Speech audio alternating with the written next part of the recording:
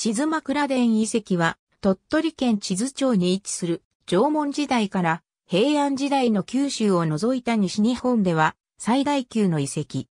2017年3月までに計約80カ所の遺跡愛好が確認され、発見当時は縄文時代から平安時代の複合遺跡として九州を除いた西日本では最大級の遺跡であった。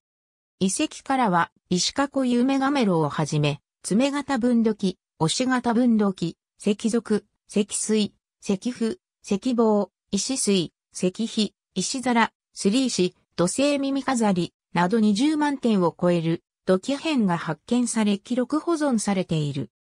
2012年に閉校した旧長谷小学校の校舎を活用して2017年4月15日に地図町歴史資料館を開館し、遠遺跡などで見つかった土器や文化財約300点を展示することになった。